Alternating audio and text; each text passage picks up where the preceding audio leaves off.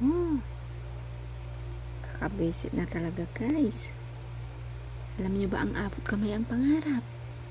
Naka. Gustong gusto ko talagang makulong si Ma'am Moira. Hindi nakukulong. Alam ko hindi na naman makukulong yan. In case makulong yan ay makakalaya agad. Isa pa, may balak na namang kamalditahan yan.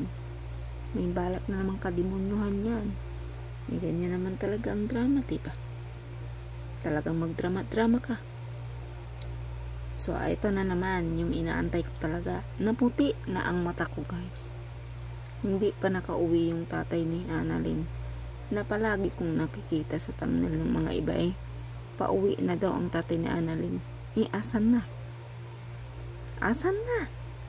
Diyos Mario Joseph. Naku, ano ba talaga?